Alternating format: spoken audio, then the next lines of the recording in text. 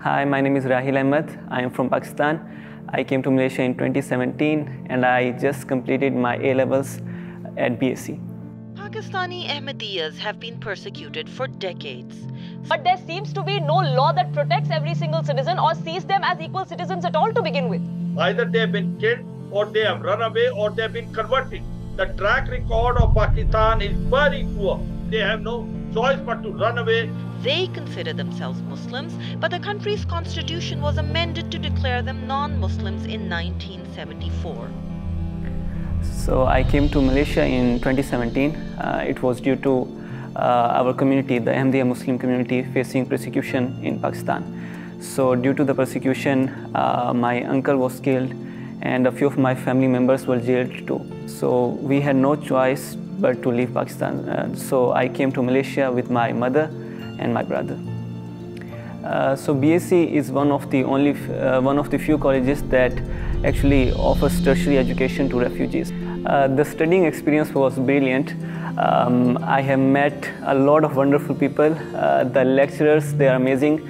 And uh, I have a chat history of asking questions to the lecturers, uh, you, no matter the time. They will always reply, very helpful. Okay, Raheel has demonstrated um, exceptional uh, behavior in the classroom.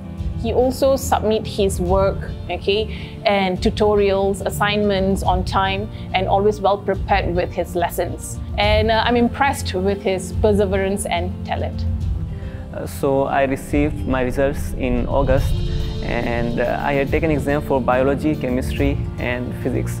So physics was not my strong subject, uh, so I was nervous, uh, but I was confident about biology and chemistry.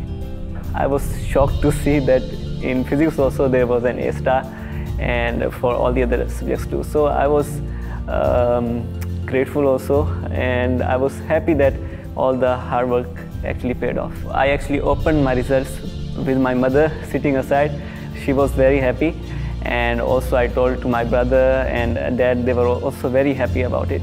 So my dream is actually to become a research scientist uh, in the field of biology and uh, for my family as well. Um, I, I'm really hopeful that uh, we get to live a peaceful life in the next country because uh, my family has faced a lot of hardships in our home country. As for our community, um, I hope that one day uh, the people will actually learn that uh, religious freedom is very important wherever you live. and one day our community uh, will be free in Pakistan as well.